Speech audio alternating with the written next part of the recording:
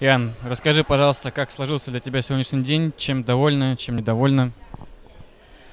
А, Честно, недовольна своим результатом. А, Проиграла сильному сопернику, но проиграла за ход 16. Это второй бой. Для меня это, конечно, шок.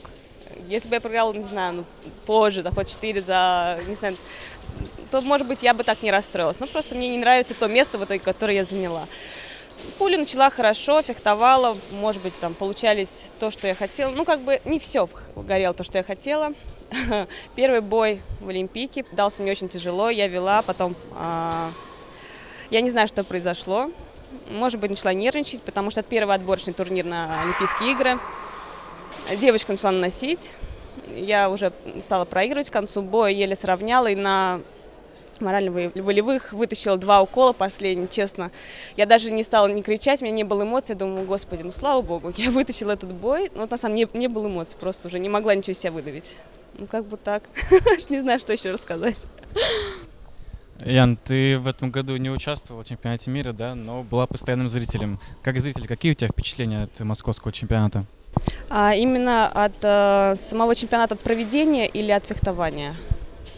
А проведение было классно, мне очень понравилось. Было очень много народу, э, было очень много болельщиков.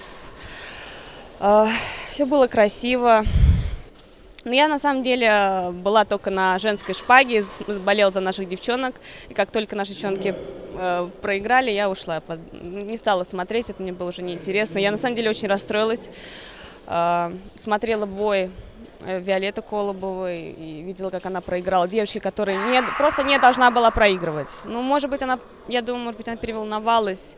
Ну, и на самом деле, я после этого боя ушла, как я внутри мне тоже был мандраж, как будто я сама стояла на дорожке. Я решила, что больше я не могу на это смотреть, и ушла. И на, на самом деле через пару дней я улетела отдыхать, вот, и не стала смотреть.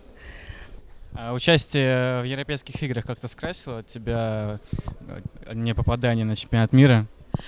Честно, я провалила целый сезон. Я не была ни, ни разу в четверке в, этом, в прошлом сезоне. Была очень расстроена.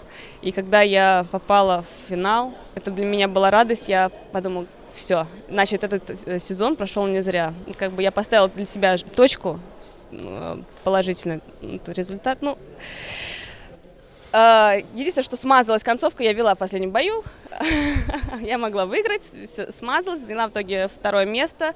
Сначала я немножко расстроилась, но потом подумала, э, что второе место на первых европейских играх это тоже очень здорово. Это почетно. Мне сказали, что э, мне подошли сказали, это первая фехтовальная медаль на, пе- на этих европейских играх. Я подумала, да, мне сказали, войдет в историю как первая медалька. Я говорю, да, ну, правда, это здорово.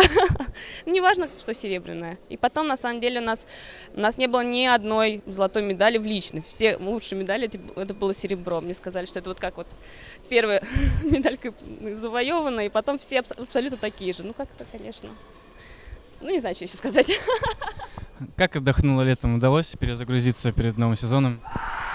А, Я месяц провела за границей, отдыхала, и за 10 дней до сбора с, э, с нашей сборной э, я лежала в больнице, лечила ногу. У меня был два года назад разрыв э, в голеностопе, там, в связке, и я лечила. Потому что в прошлом сезоне в конце у меня началось воспаление ахилла, и было очень больно фехтовать. Ну, мне надо было подлечить немного ногу. Я подлечила, и потом мы поехали в Португалию. Кстати, очень хороший сбор был. Мы все отдохнули, загорали. Немножко покупать, вода была холодная, но было здорово. Спасибо большое тебе, удачи в этом сезоне. Спасибо.